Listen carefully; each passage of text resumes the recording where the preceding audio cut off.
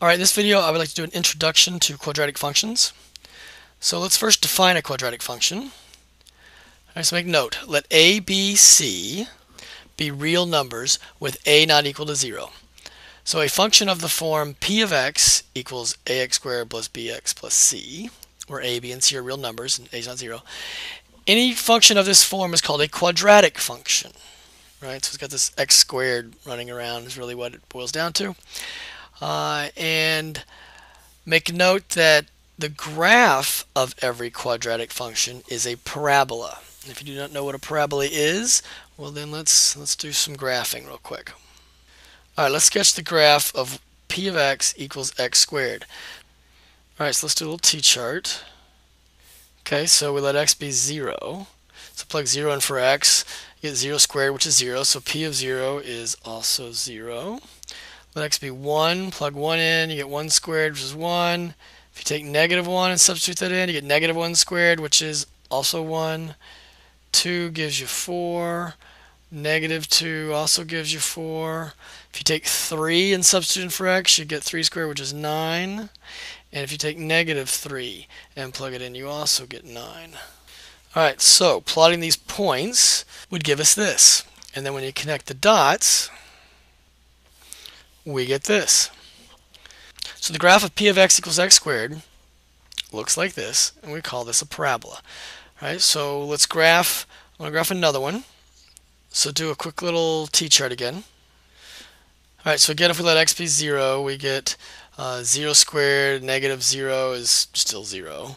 If you take 1 and plug it in, now be careful, that's going to be a negative 1. So you take the 1, you plug it in for x, you get 1 squared, which is 1, and then the opposite of 1, which is a negative 1. So we're not squaring this negative sign out in front, we're squaring whatever number we plug in for x, and then taking the opposite of that. So if x is negative 1, you take negative 1, plug it in for x, square that, that gives you a positive 1, and then the opposite of that would be a negative 1. With me? So if you take 2 and plug it in, you get 4, and then the opposite of 4 would be a negative 4. Same idea with negative 2, 3, and negative 3. Right, so this time all your y values are negative. So when you plot them, you get something like that, and then connect the dots. Right, so now we have this parabola. We say that the parabola over here on the left, we say that opens up, and we say the parabola over here on the right, that it opens down. Right, um, so those are our first two graphs of um, quadratic functions. So we can make some type of generalizations here, right? So the coefficient of the x squared here over on the left, it's a positive one, and the coefficient of x squared over here on the right is a negative one. And that really determines if the parabola is going to open up or down, right? So for parabolas that open up, that coefficient, that leading coefficient of the x squared there, that has to be positive. And for parabolas that open down, that coefficient of the x squared there has to be negative. We're going to summarize that all up into a note. So if p of x equals ax squared plus bx plus c, then the graph of p of x is a parabola, which we already know. And if a, the coefficient of x squared, is greater than 0, which means it's a positive number, then the parabola opens up. So it looks like looks like this. Right? And if a is less than 0, then it's a negative number, then the parabola opens down. So it would look like this. All right, so that's just looking at the, the coefficient of the x squared is going to tell us that information. We really haven't done anything, right? Um, so now I want to talk about the, the you got them opening up and down. Okay, I want to talk about this point and this point. Those points have a name. They're called the vertex, right? Vertex. So that that low for parabolas that open up, that lowest point there is called the vertex. And for parabolas that open down, that highest point is called the vertex. Right? It's an ordered pair, and we're going to say it's of the form h comma k. Right? Just to denote a generic ordered pair. Right? So the vertex is a is a point um, and we often use the, the h and the k to denote that point um, for the respective x and y coordinates uh, for that particular point. There's also another part that's important. So right down the middle of our parabola here, there's like this imaginary line.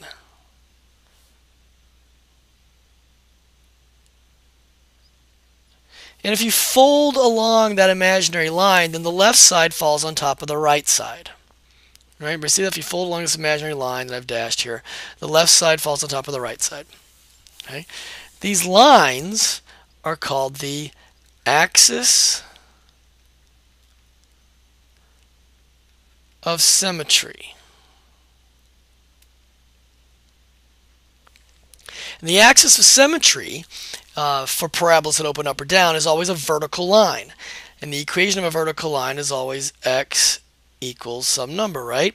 Well, if it has to run through the vertex, then it's x equals the x part of the vertex. So x equals h. So if you know the the vertex of your parabola, then you automatically know the axis of symmetry. It's x equals the, the x part of the vertex, in this case just h.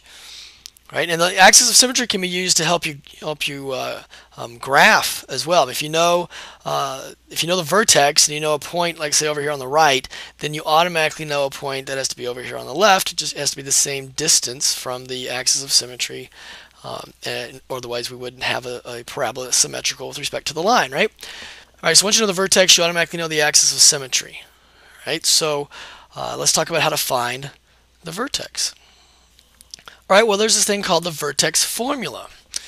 Right, so uh, the vertex of the graph of a quadratic function of the form p of, p of x equals ax squared plus bx plus c, so we know we got our generic here quadratic function, uh, is the point, and it's negative b over 2a gives you the x part of the vertex.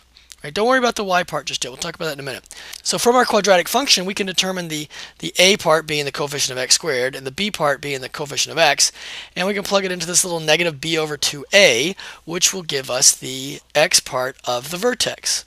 Then once we know that value, we need to be able to find the corresponding y value. And to do that, you just take that particular value the, that you got for x there and plug it in for x and do the math on it, and it will spit back the y part of the vertex. And that's really what this notation over here on the right is saying, is saying go to the original function p and evaluate p at negative b over 2a for x. So in other words, you take this value, this number you get here, and plug it into your function for x and let it tell you what the y value is going to be. Right? So that's the that's the formula. It looks kind of ugly, but it's not so bad. We'll do it. We'll do an example here in just a second. All right, so that's the that's the vertex formula. It did not just appear by magic. No, we're not going to go into the details here of how to derive the vertex formula.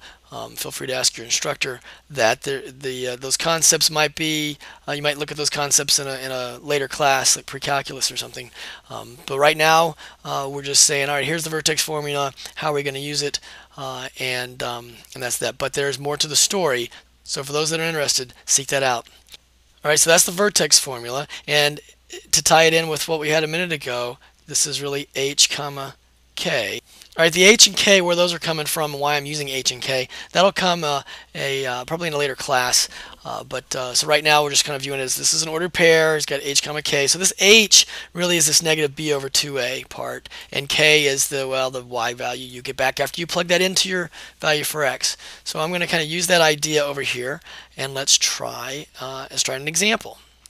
All right, so the given p of x equals 2x squared minus 12x plus 17, we want to find the vertex. So I'm going to say let's find h, which we know is to be negative b over 2a, and substitute those values in. So b is negative 12, so negative, negative 12 over 2 times a, and a is 2. So let's, how does that go? Then negative, and then negative 12 over 4 goes to negative 3, so this is 3. All right, so h is 3. Now we want to figure out the k, and k is just evaluate p at 3. Right, so we plug the 3 in everywhere, and then we just do the math on it. So we get 18 minus 36 plus 17, which goes to negative 1. So the vertex is 3, negative 1. As soon as we know the vertex, we automatically know what? The axis of symmetry. I'm going to abbreviate it and write it as A of S, right? Axis of symmetry. Right? So looking at this particular quadratic function, we know that it's going to open which way, right? So this one's going to open up. I'm just going to make a little note over here. Opens up.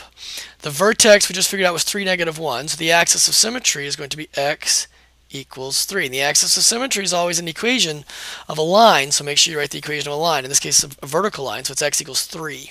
For parabolas that open up or down, the axis of symmetry is always a vertical line. It's always x equals the x part of the vertex. All right, so there's the vertex and axis of symmetry. Now what about the y-intercept? How do you find the y-intercept?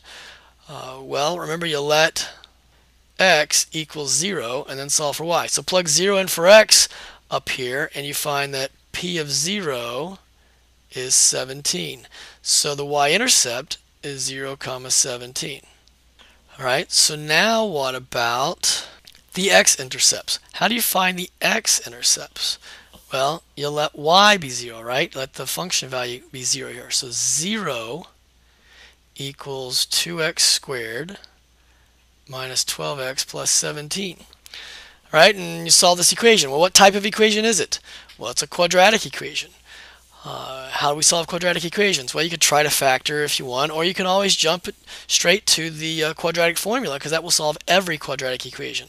So let's just do that. So we've got x equals um, negative b plus or minus the square root of b squared minus 4ac all over 2a. And then you just do the arithmetic on it, which then goes to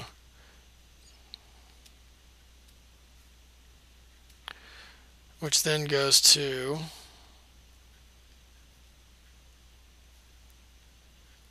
which then goes to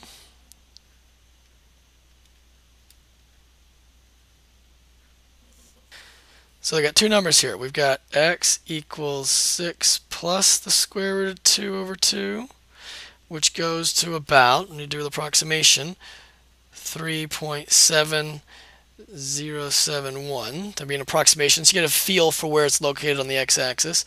We also have x equals 6 minus the square root of 2 over 2, which goes to about 2.2 929 right? So the the x-intercepts are these two points approximately because we had to do the approximation.